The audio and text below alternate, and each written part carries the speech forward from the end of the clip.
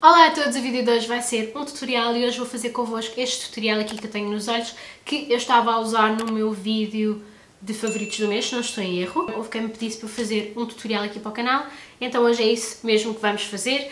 Obviamente que eu vou usar sombras no caso da Natasha Denona, que foi com esta paleta que eu fiz este look, mas vocês podem, como é óbvio, sempre alterar por sombras de outra marca que vocês queiram, parecidas, ou podem alterar os produtos, podem alterar o que quiserem, ok? Vou-vos dizer como é que eu fiz o look e vocês se não quiserem usar sombras da Natasha Denona, usem coisas mais baratas ou coisas que vocês gostem mais.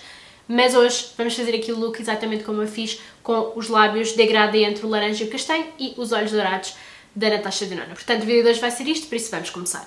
Ora então, já comecei por fazer o meu rosto todo e sobrancelhas, obviamente. Eu vou deixar os produtos todos na caixa de descrição, no segmento que eu estou a usar. E, portanto, vou só fazer convosco os olhos e os lábios, porque é, na verdade, a chave do look. Então, para os olhos, vamos usar a Natasha Denona Bronze Palette. Óbvio que qualquer tom que vocês vejam aqui que tenham semelhante mais barato, estejam à vontade para substituir. Obviamente não tem que ser feito com a Natasha Denona. Se calhar fica mais semelhante com a Natasha Denona, mas podem completamente substituir por outras sombras. Então, o look que vocês me pediram para fazer era um look dourado, e foi todo feito aqui então com a paleta. E eu comecei por aplicar estes tons mais amarelados na arcada, portanto eu apliquei o, meu Deus eu não consigo ver ao contrário, Sundown e Ridge, estes dois aqui misturados, apliquei os dois na minha arcada.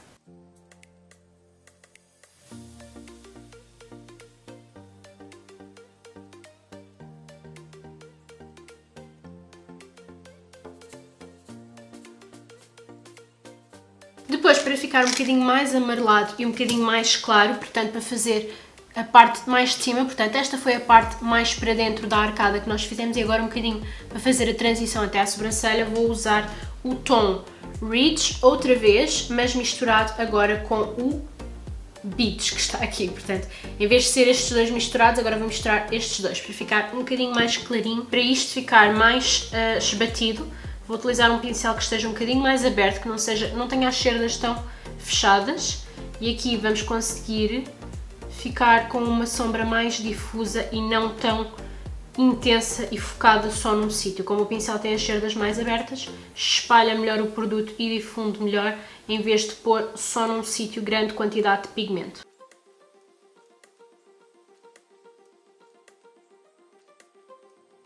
Ok, com o pincel limpo vou rapidamente só passar aqui por cima só para tirar excessos e ficar tudo mais ou menos espalhado umas cores nas outras. E vamos passar então para as cores do canto externo que mais uma vez eu misturei também.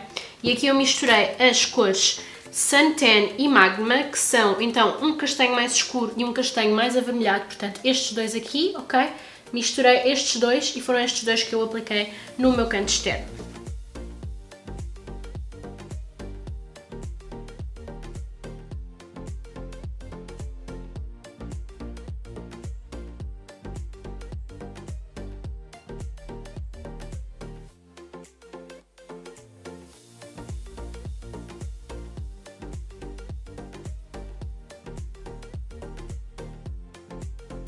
Vou passar outra vez com o pincel da arcada, só aqui para misturar estes tons sem produto adicional. Só vou espalhar aqui estes tons um com o outro, portanto o tom mesmo de dentro da arcada, com este castanho e este magma no canto externo, só para os tons se difundirem todos melhor uns nos outros. E vamos passar para a sombra principal do look, que era o dourado bem intenso, que é este, é um dourado mesmo muito amarelo, que fez um show, que é este aloe aqui. E o que é que eu fiz? Primeiro apliquei com o dedo e depois logo de seguida fui aplicar, portanto, uma segunda camada, não é que seja preciso, porque estão a ver, só com uma swatch no dedo ele fica super intenso, mas eu depois fui ainda passar uma segunda camada com o pincel molhado com Fix Plus. E isso fez com que ficasse com uma intensidade tão forte, digamos assim, que estava quase com um aspecto molhado. E acho que foi isso que fez Quer dizer, a cor é linda mesmo sem o Fix Plus, mas com o Fix Plus eu acho que, pronto, fica com um aspecto, dá aquele extra aspecto molhado ao look e acho que estava, pronto, estava giro e foi isso que eu fiz. Portanto, vamos recriar. Se não quiserem fazer isso, não façam, já sabem, podem obviamente, como em tudo que é tutoriais e maquilhagem e tudo, podem adaptar ao vosso gosto e aos vossos produtos e, you know, e ao vosso olho também.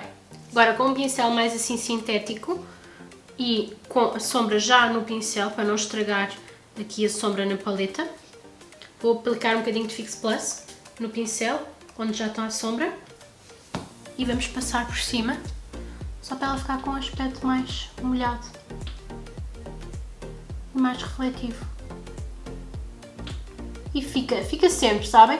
Seja que sombra for, pôr o Fix Plus por cima faz com que o pigmento se una, sabem? Qualquer que seja a paleta. Óbvio que quanto melhores forem as sombras, mais intenso e mais bonito vai ficar o, o efeito, mas qualquer sombra, cara, barata ou que for, quer dizer, qualquer sombra, calma, as mate, por exemplo, há certas texturas que não é boa ideia fazer isto, mas pronto, vocês conseguem perceber pela textura, principalmente as metalizadas e estas metálicas, as metalizadas e as metálicas não, as metalizadas, as duochrome, todas estas sombras com muita dimensão e que normalmente são melhor aplicadas com o dedo e que têm muito reflexo, normalmente são estas sombras que são as melhores para serem aplicadas com o pincel molhado.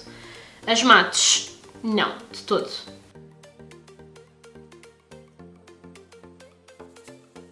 A ver, fica logo super, super intenso. E este dourado é um dourado mesmo muito amarelo, quase tipo sunset.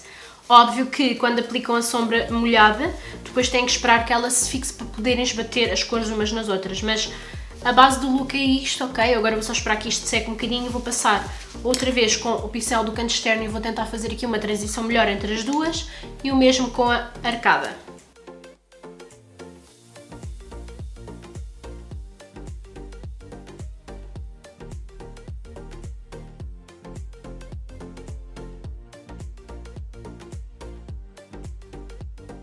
Agora, para manter a coisa o mais fiel possível ao que eu tinha no vídeo e ao que eu tinha no look, eu usei uma coisa que eu acho que nem sequer se via nem no vídeo nem no look, no entanto eu vou fazer que é para vocês verem como é que estava mesmo real, podem completamente, aliás eu acho que isto não vai ter qualquer tipo de leitura, portanto estejam à vontade para passarem este passo, eu fiz tipo um eyeliner de glitter com o Heavy Metal Glitter da Urban Decay no tom Starfire, que é este aqui, que é tipo um dourado bronze mais ou menos, e o que é que eu fiz? Foi como se desenhasse um eyeliner com isto. Portanto, muito perto da raiz das pestanas estavam umas purpurininhas que, é como vos digo, só eu é que as vi.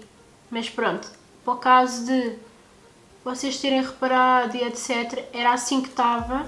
Portanto, é assim que eu vou fazer.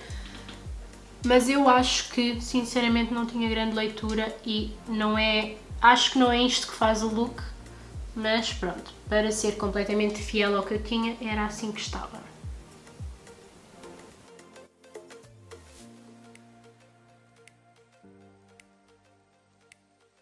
Em cima era isto e em baixo era exatamente igual. Podemos, aliás, fazer já a parte de baixo antes de passar para a máscara de pestanas. Vou só usar aqui um pincelito para limpar a queda que eu tenha na parte de baixo dos olhos, que não é muita, mas há sempre qualquer coisa. Vou só aqui varrer. E a parte de baixo fiz, creio eu, tenho quase certeza que fiz exatamente igual à parte de cima. Portanto, fizemos o mesmo esquema de cores nos mesmos sítios. Portanto, no caso, os dourados aqui nesta zona interior, portanto o aloe, e o magma e o santan no canto externo. Portanto, vamos fazer exatamente isso. Vou, aliás, usar os mesmos pincéis e vou começar já com o santan e o magma, que são os escuros, na parte exterior aqui do olho.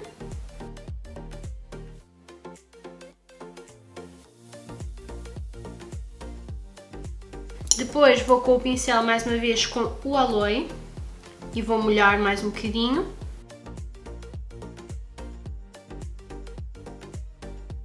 Vou com as três cores das arcadas, portanto o Beach, o Rich e o Sundown. E vou fazer aqui em baixo só a transição destas cores todas para acabar exatamente no mesmo esquema de cores.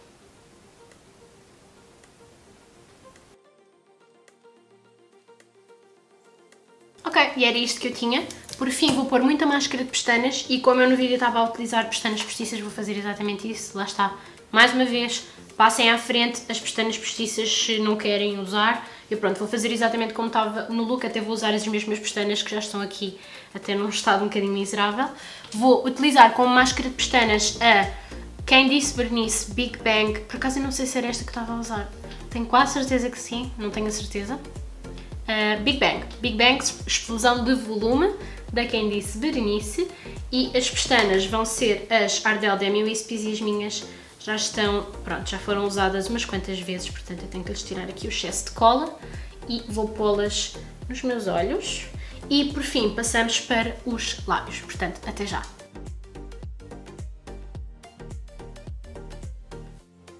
Ok, os olhos estão finalizados por fim. Nos lábios o que eu tinha era o lápis da MAC, uh, portanto lápis de lábios no tom Spice, que é este aqui, que é meio acastanhado, é tipo um nude acastanhado. E dentro, portanto, vocês vão ver como é que eu faço. Primeiro vou delinear os lábios com esta castanhada e depois no centro, e vou bater com o dedo, tinha o batom da Wet n Wild, o Mega Last, no tom 969 Carrot Gold, que é assim um laranja, e ficou aquele lábio assim meio... Não era nem laranja nem castanho, era aquele meio termo, e acho que ficou, ficou giro, ficou diferente. Portanto, vamos fazer então isso.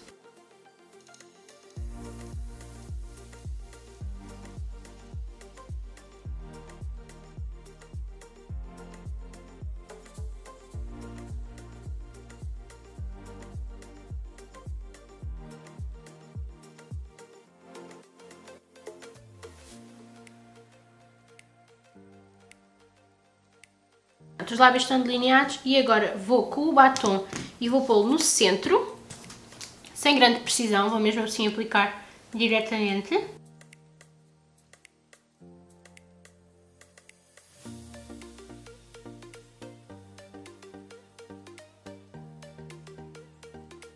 E depois com o dedo vou espalhar uma cor na outra, para ficar literalmente um degradê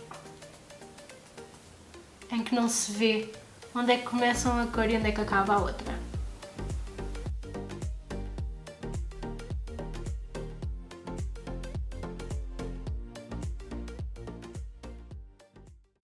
E pronto, é este o vídeo, espero que tenham gostado. Do look, é bem mais simples do que parece, na verdade. O que faz o show neste look é mesmo o dourado que fica com um aspecto muito metalizado e muito molhado. Espero que tenham gostado do look e se recriarem não se esqueçam de me tagar e de me mostrar, de me enviar pelas mensagens no Instagram ou mesmo aqui pelo YouTube. Espero que tenham gostado do vídeo, não se esqueçam de subscrever e partilhar o canal e até ao próximo vídeo.